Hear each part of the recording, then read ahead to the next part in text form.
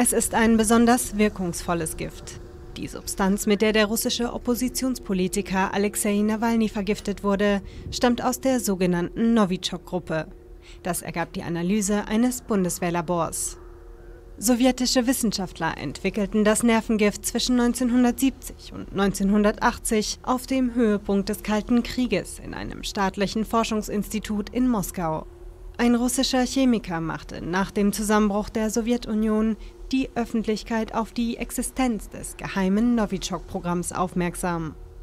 Das Nervengift kam nicht nur bei Nawalny zum Einsatz.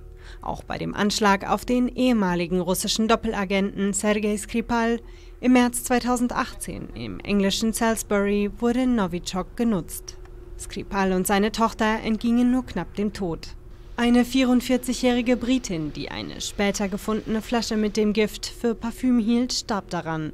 Die Dekontamination des kleinen Städtchens dauerte knapp ein Jahr.